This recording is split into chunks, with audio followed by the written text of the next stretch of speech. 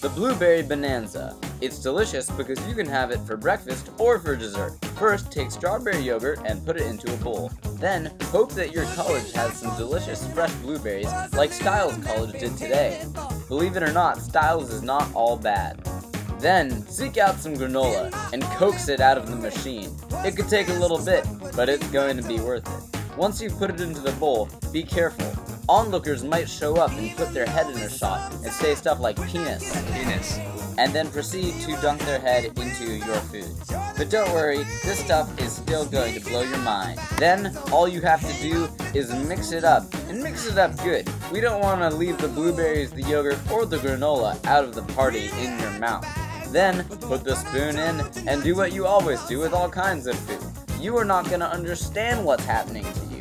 List of ingredients, and spoon. Yum, yum, yeah.